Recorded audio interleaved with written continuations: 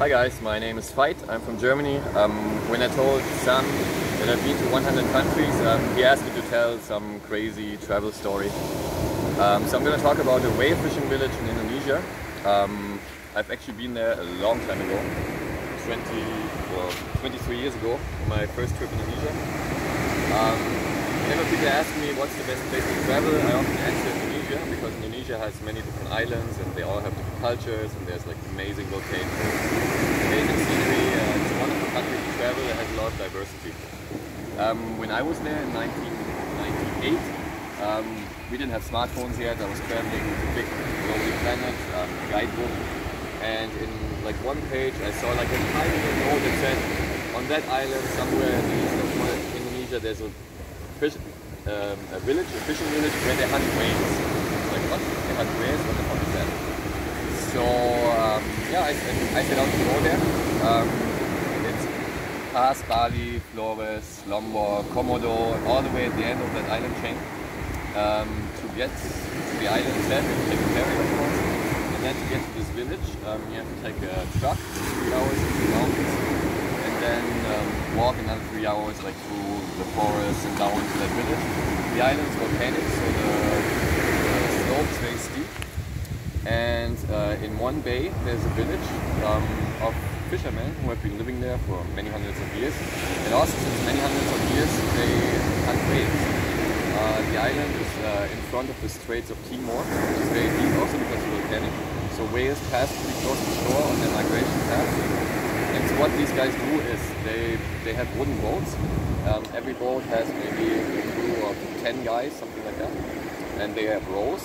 And so every day at 6 o'clock in the morning, um, just around sunrise, they get on their boats and go out to sea and try to spot whales.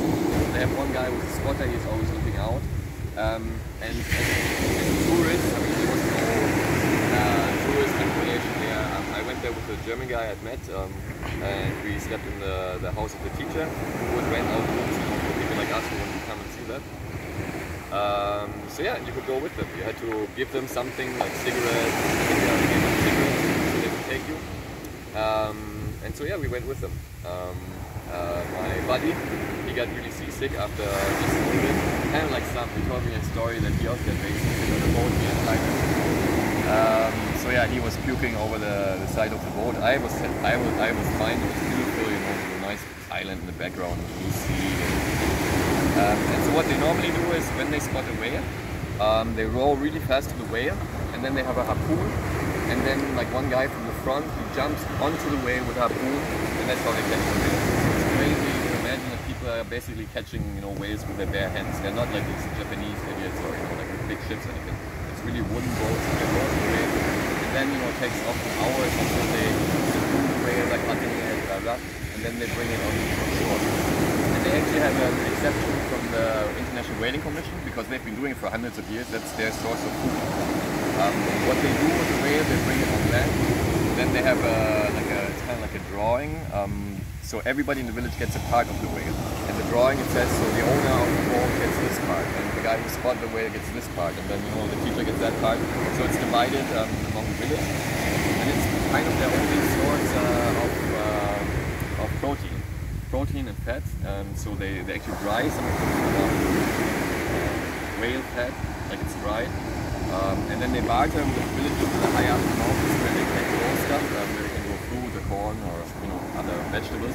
Because there the soil is so steep that they cannot grow anything. Like they don't have any fields or anything like that. Um, and so they barter. They, they exchange whale fat, dried whale, um, villagers that are further away. Um, I actually tried that dried whale. Um, it was disgusting. It tasted, it tasted like old margin. Really no pleasure to eat. But you know, you have to try everything once. And so they catch about, um, I think three, more or less an average three whales per year. So it's not, you know, it's not like regular. Like if they catch a whale, they're really lucky. They catch a lot of survive for another year.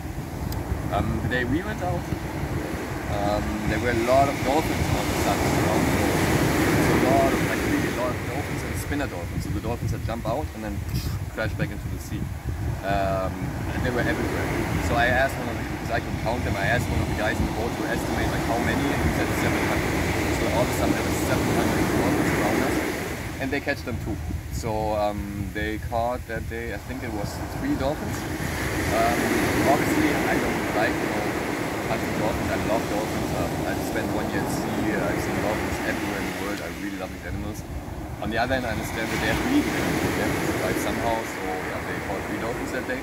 And with the dolphins, they do exactly the same thing as the raiders. They, they bring them to shore, and women come down, they cut them up on the beach, in the surf, you know, put them on little strings of um, like stuff like stuff like from the trees. You know, they just put them the, the pieces of the dolphin uh, on those strings and wash them, and then you know they take them to their houses and cook them, and eat them. Um, that day, um, the teacher also got his part, so we also at night we had uh, the dolphin that and I tried it. It tasted like um, red. It's red meat, so it tasted like deer.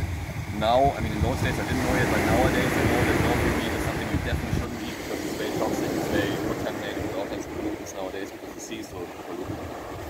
Um, but yeah, it was a very, very interesting experience um, to, to see how people live after hundreds of years to this day, you know, by rowing out and hunting ways. So that was one of the most um, most interesting, I would say, travel experience and one of the most interesting locations I've been. Also because nothing people about this. Whenever I tell the story, people like, whoa, really? I've never heard of it. In fact, later when the internet started, you know, becoming a thing, I went online and I tried to find information. The first years I couldn't really find information, more information about that village. Now, if you Google Lamalera, that's the name of the village, like, you can find information. There was like a, I think, National Geographic report.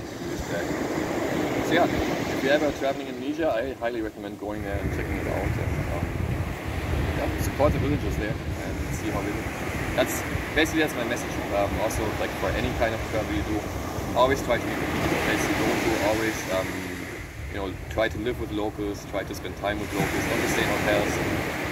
Um, yeah, learn from them and see how they live and see how amazing our is. That's it.